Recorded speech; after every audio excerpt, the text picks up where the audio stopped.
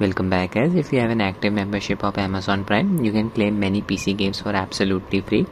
For example, games like Middle Earth Shadow of Mordor, Game of the Year Edition, Lego Indiana Jones, Shadow of the Tomb Raider Definitive Edition, Borderlands pre-sequel, Borderlands Part 2.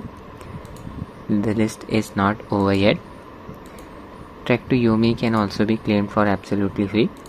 In this video, I'll be trying out. There it is. Trek to Yomi Shadow of the Tomb Raider and Borderlands 2 on my ROG Ally. I have the Z1 Extreme variant of this device. I'll just claim Shadow of the Tomb Raider from Prime Gaming website. Make sure you're signed to your Prime account. This is the Epic Games version of Shadow of Tomb Raider Get Game. It has been added to my Epic Games account. Next we have Borderlands Part 2. Epic Games version again. Added to my account. Trek to Yomi. Get Game. Again it's the Epic Games version of the game. Added to my account. You can also claim the PC version of Football Manager 2024 and Sniper Ghost Warrior contracts for absolutely free from Epic Games website. I'll kick things off with Shadow of the Tomb Raider. The game is set 3 years after the events of Rise of the Tomb Raider. Its story follows Lara Croft as she ventures through the tropical regions of the Americas to the legendary city of Paititi, battling the paramilitary organization Trinity and racing to stop a Mayan apocalypse she has unleashed. I'll be running the game with AMD's driver level implementation of frame generation that is AFMF2. For this game, I've set the UMA buffer size to 5GB, my is running on BIOS version 339. Using a 25 watts manual profile, all three power values set at 25 watts, 900p resolution, CPU boost disabled. I have connected my Gulikit KK3 Max gamepad to Ally via Bluetooth mode. Games launcher, show you the settings from here. 900p resolution, Using XeSS upscaler, its quality preset VSync disable DirectX 12 version of the game full screen mode. Using the high preset, I've just disabled motion blur. That's why here the preset is shown as custom instead of high. Adrenaline settings for the game, VSync enable, RSR enable, resolution upscale from 900p to full HD. AFMF2 disable for the time being, VSync off, I'll use Adrenaline's overlay to show you the performance metrics. Control Shift and O keys together. There it is. There's Lara. Here we're getting around 55 FPS. Perfect for enabling AFMF. Input response. VRAM usage is close to 4.6 GB. Hitting the GPU bottleneck. I'll just enable AFMF now. FPS should increase to around 100 I'll apply a 60 FPS cap as well. Enable Radeon Chill. Set the values to 60 AFMF2 on. Check its status. It should be active. Search mode set to high. This will prevent frame generation from getting disabled during fast visual motion. Performance mode set to quality. Turn to the game. Now we're getting close to 90 fps check out the real world input delay. Nothing extreme. Frame generation lag value 17 milliseconds. Can observe the added amount of smoothness. Game's HUD elements are not flickering not observing any artifacts around Lara's character model. Very smooth experience on ROG Ally no hitching at all in this game. Very nicely optimized cutscene. Skip. Thick foliage here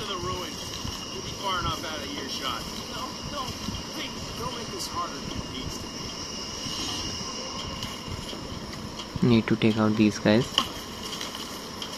Come on. Use the stealth it. approach. 90 fps use my bow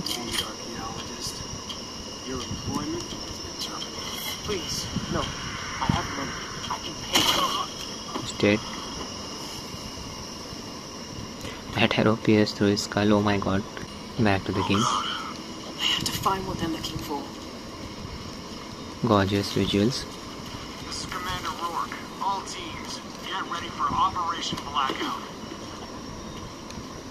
Beautiful moonlight. Platforming elements here. I know this figure. Need to drop down. The goddess of the to make my way down. use the axe clinch to the surface like this rappel down Okay, this should work. made it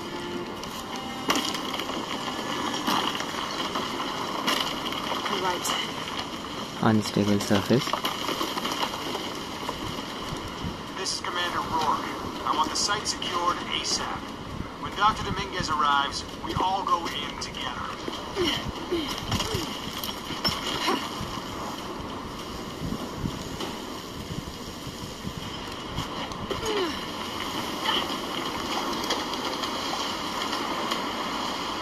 I need to jump across wish me luck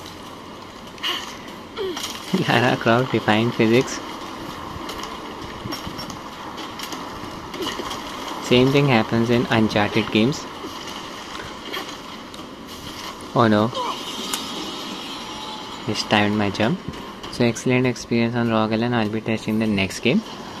Trek to Yomi is a side-scrolling action game set during the Edo period of feudal Japan. The game follows a young swordsman named Hiroki who embarks on a quest of vengeance when his home village is burned, leading him to enter Yomi, the Japanese underworld, and confront the evils of his past. Again, I'm running the game at 900p resolution. Uncap the FPS, display mode, borderless window, 900p resolution, grain filter disable. Using the high preset.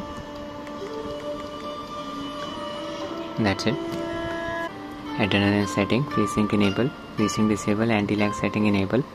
RSR enable resolution upscale from 900p to full HD there's a character Hiroki FPS is close to 65 here we are hitting the GPU bottleneck VRAM usage around 3.5 GB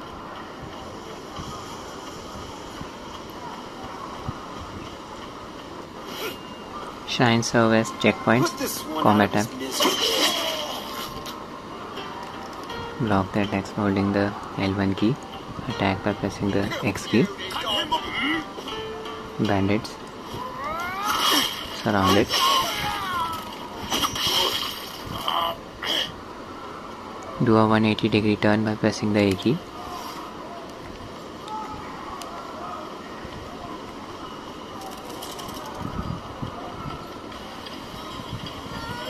Another shrine.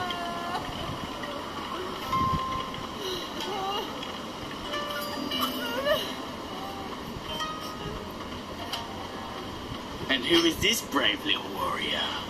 Stand down, dog! I am a samurai! Take out this guy. Match for us, boy. Another one. Excellent experience out of the box.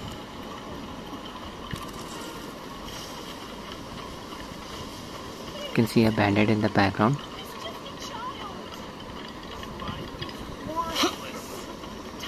Stop right there! Yeah, can roll by pressing the B key.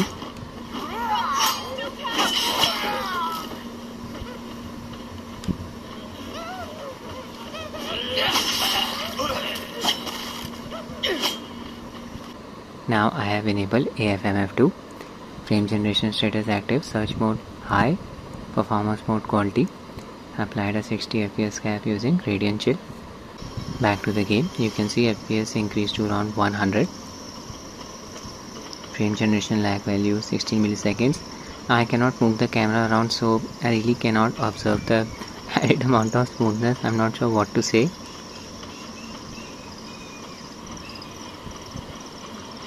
So much. Even without AFMF2 we were getting around 60 FPS. Animation was looking smooth. I pray Sensei can stop them. Shrine Activated. me with him. upon death will respawn at the last activated shrine. I hope Aiko is still safe.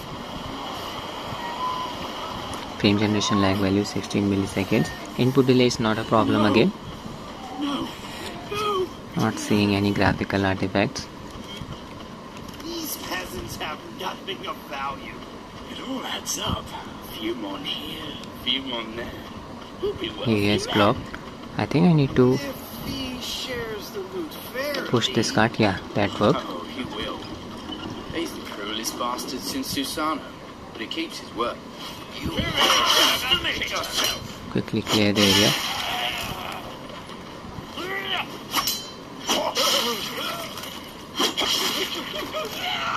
excellent experience now i'll be testing the next game borderlands 2 is an old game now on windows platform it uses direct3d 9 api this causes some performance issues on modern day pcs like ROG ally. So i'll be using dxvk translation layer to translate direct3d 9 calls to vulkan api you can download it for free from dxvk's github page. Just click on the latest version under releases section. At the time of recording this video it's version 2.4 even supports direct3d 8 api just click on this tar.gz link under set section open file explorer go to your downloads directory look for the tar.gz file there it is open it then open the dxvk folder open x32 folder then copy this dll file d3 d9 need to paste it in the games install directory epic games version just click on the three dots below the games box art click on manage click on the folder icon here this will open the games install directory there it is. Open binaries folder open win32 folder. Paste the dll file here. There's the games exe file. Now just create a text file. Right click in the blank area. Go to new. Click on text document. Open it. Just add this line of text. It will fix the missing lava at vault of the warrior. I'll provide the text in the description of the video click on file click on save close. Now we need to rename this file. Rename it to dxvk.conf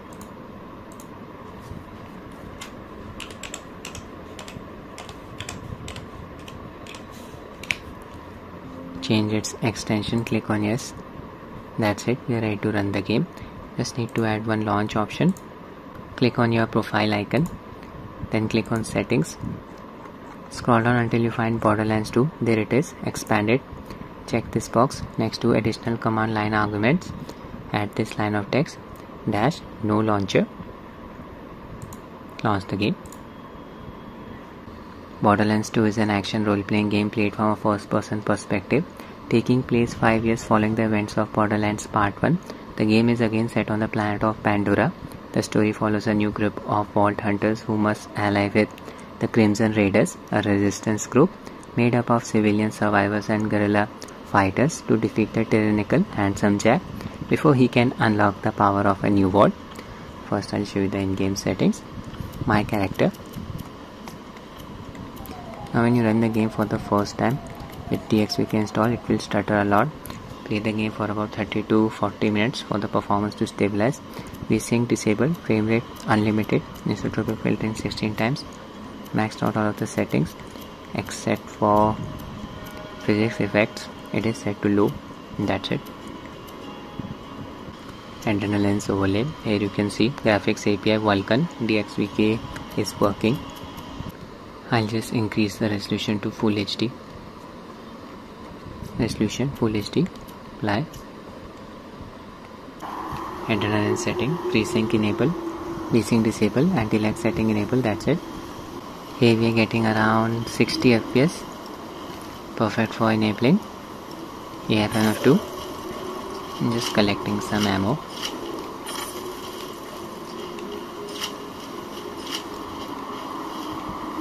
53 to 60 fps that's claptrap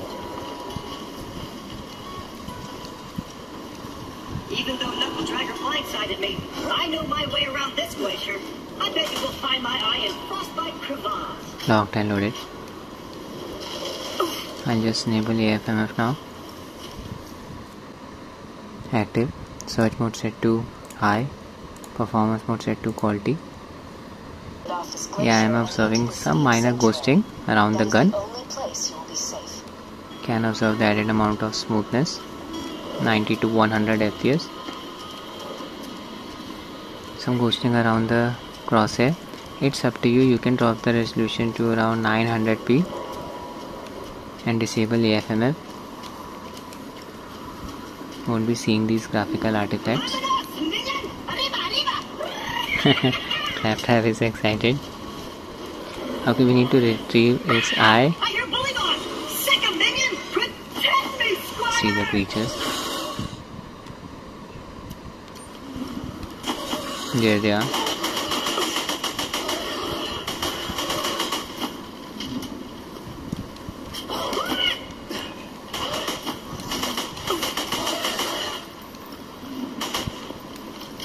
Not done yet. Use my other gun.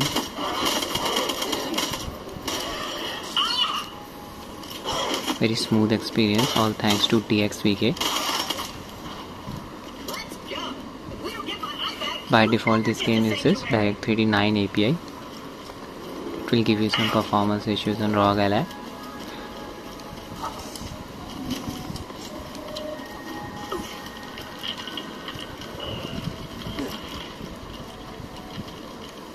Area discovered. Can hear the growling. Yeah, there's the creature. So excellent experience again. That's it with the video guys. I hope you find it useful. Thanks for watching and have a nice day.